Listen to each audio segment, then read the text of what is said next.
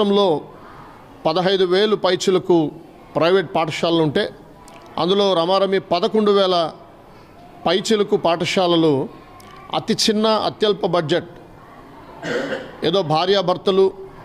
జీవనోపాధి లేక చదువుకుని విద్యావంతులై ఉండి కూడా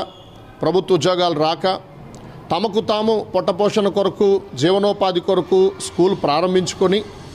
ఆ స్కూల్ ద్వారా కొన్ని లక్షల మందికి ఉపాధిని కల్పిస్తూ ఉంటూ మరి ఒకవైపు మా జీవనం మరొక వైపు మరికొంతమంది జీవనానికి సహకారంగా తోడ్పాటుగా ఉంటున్న ఈ చిన్న చిన్న ప్రైవేట్ పాఠశాలలను మరి మన రాష్ట్ర ప్రభుత్వం ఎంతో ఉదార స్వభావంతో నవరత్నాలు పెట్టి ఆ నవరత్నాల కంటే మించి కూడా ఈ మధ్య ప్రతి వర్గానికి ఏదో ఒక రకమైన ఆర్థిక సహాయం చేస్తూ ఉన్నారు. టీచర్లకు కానీ లేదా చిన్న చిన్న నాన్ ప్రాఫిట్ ఆర్గనైజేషన్స్గా స్టార్ట్ చేసుకున్న చిన్న చిన్న స్కూల్స్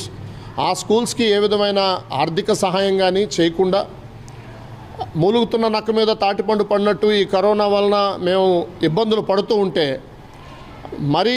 ఎక్కువగా మమ్మల్ని ఇబ్బంది పాలు చేస్తూ పూటకొక జీవో రోజుకొక కొత్త కొత్త నిబంధనలు అంటే మోయగలిగినవి అన్నీ బాగున్నప్పుడు అన్ని పరిస్థితులు బాగున్నప్పుడు ఒకవేళ అలాంటి రెస్ట్రిక్షన్స్ పెట్టినా దానికి మేము స్వాగతించగలుగుతాం. ఒకవైపు ఆర్థికంగా మేము పతనం అయిపోయిన టైంలో మళ్ళీ ఏవేవో కొత్త కొత్త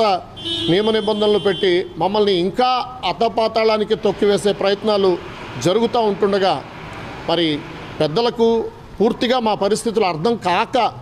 మరి అలాంటివి ఏమైనా జరుగుతున్నాయేమో అనే ఒక మరి సందేహంతో మా గళాన్ని మేమే వినిపించాలి మా బాధలు మేమే ప్రభుత్వానికి చెప్పుకోవాలి అని ఈ ప్లాట్ఫామ్ ముఖంగా. మరి దయచేసి మా చిన్న చిన్న ప్రైవేట్ పాఠశాలలపై అటు ప్రజలు ఇటు పాలకులు అటు అధికారులు ప్రతి ఒక్కరూ సానుభూతి కలిగి ఉండాలని మా పక్షంగా మమ్మల్ని కూడా అనేక మంది అణగారిన వర్గాల్లో ఒక వర్గంగా గుర్తించి ఒక పక్క నాన్ ప్రాఫిట్ అంటూ ఉన్నాం మరో పక్క